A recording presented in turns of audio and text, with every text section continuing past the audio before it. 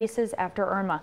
KRCG 13's Caileigh Peterson joins us at the quad with the damage a Jefferson City native is seeing from the ground. Thanks, Katie. We've been following Jefferson City native Alicia Snyder, who lives in Cooper City, Florida, as she braved Irma. Cooper City is in between Fort Lauderdale and Miami. This morning, she says her city is one of the lucky ones. Schneider says a majority of the damage done is wind damage. Trees are down throughout the city. Some places in the city lost power for 30 hours. Other areas only lost power for 30 minutes. She said the roads are clear from, of water, but those are still blocked by trees. At one point, Schneider says there were six tornado warnings in an hour. Schneider says now the community will come together to help each other.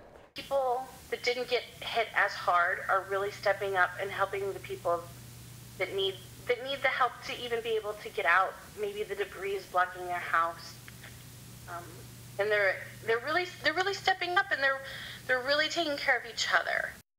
Looks like she's doing okay. Yeah, and she was telling me that a lot of people around the town are using, you know, the uh, damage done in 10 hours will take 10 mm. days to repair there, but she did what really an equation. Lucky. Yeah. Wow. None Oof. of the trees in her area fell on her house, nothing, so she got out really well. Well, good. Good to hear from her. Thank you, Caileigh. We'll check back in with you in a little. Well, U.S. Supreme Court Justice Anthony Kennedy has